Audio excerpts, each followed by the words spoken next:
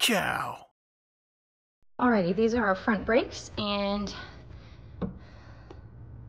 let's see if we can get that light to stay. This here is our brake wear sensor.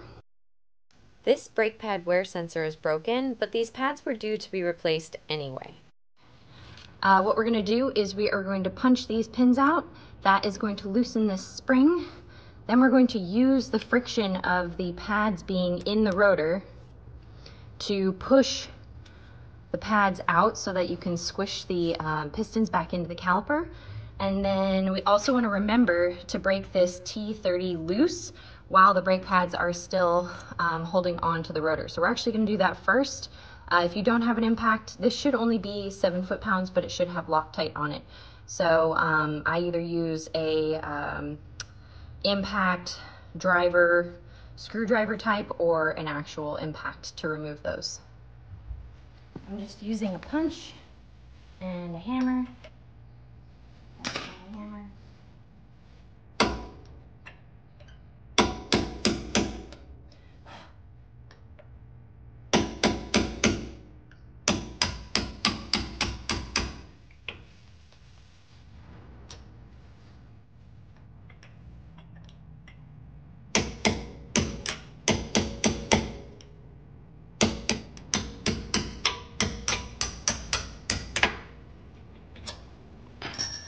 Push down on the spring to pull the bottom pin out first, then the top pin should come out There relatively easily. One out. Now that that one's out, this one should come right out. Okay, so we're actually going to clean these up with a wire brush before putting them back in.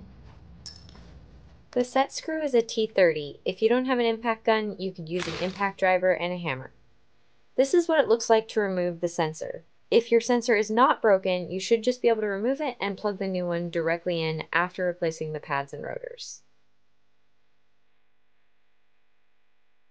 Now I want to spread the pads apart. So, get in here.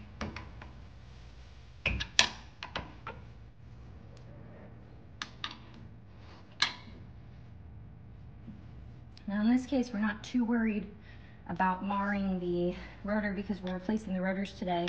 But if you were worried about that, you would want to be very con conscious of where you're pressing and what tools you're using to retract the caliper.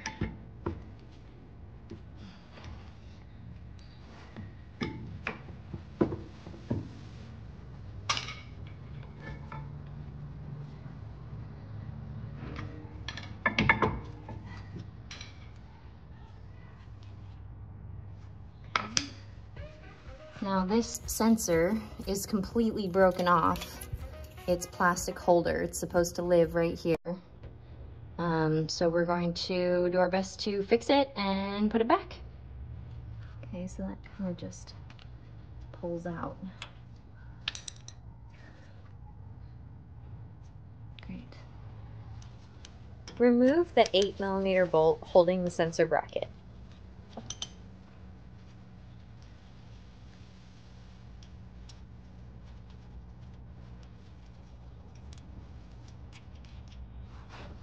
Next, you're going to remove the two 18mm caliper bracket bolts. If you have an impact driver, you can get the lower one off, but for the upper one, I used a breaker bar and leveraged with my foot. To the right, which means I need to go to the left.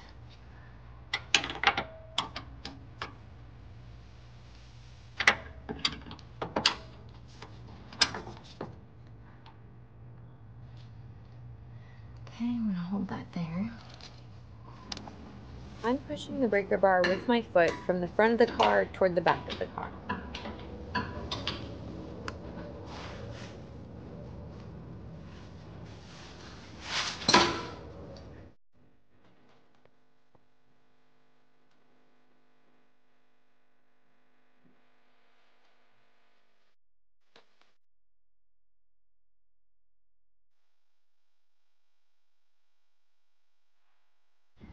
Make sure you don't let the caliper hang from the brake lines or from the wires. It's good practice to use a bungee cord or baling wire to secure the caliper to the strut while you work. Remove and replace the rotor. It is easier to get the caliper bracket bolts in if you put the set screw in first. Make sure the set screw has Loctite on it.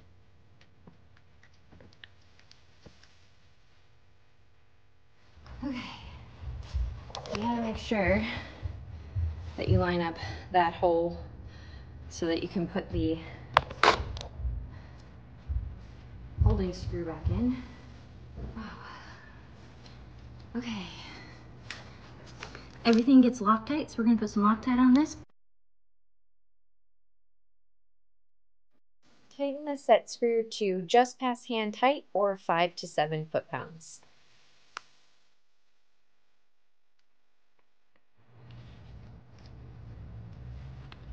Loctite on these guys.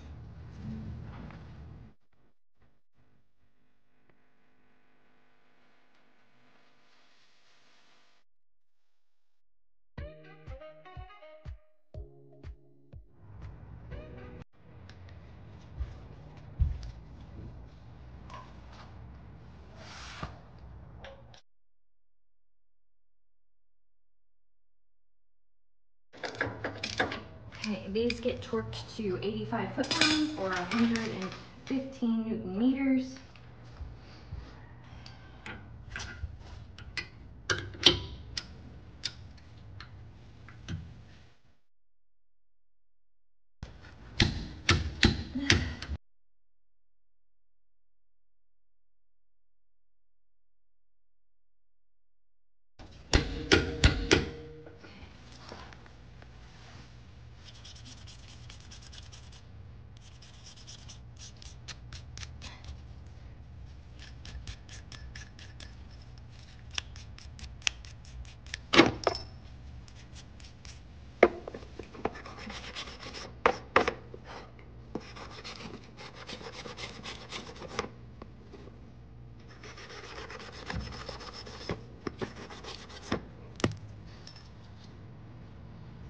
So I put anti-seize on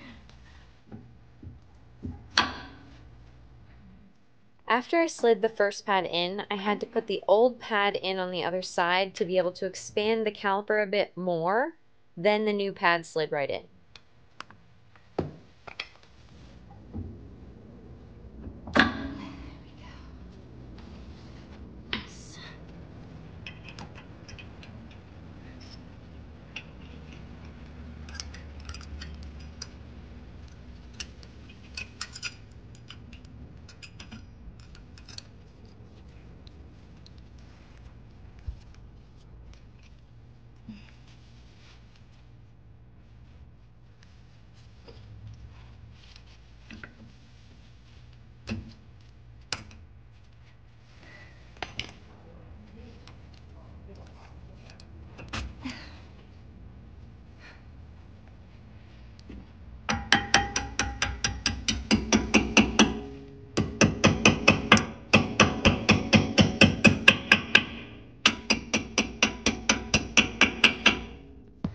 Those need to be 100% flush.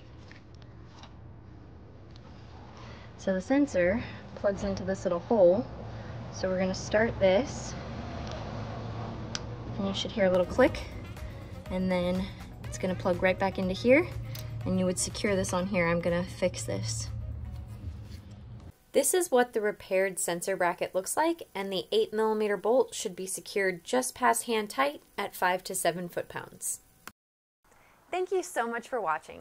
If you found this video helpful, please like, comment, and subscribe below so we can help other people find this video. I offer automotive education and consulting, so if you need help completing this job, my contact information is in the description below.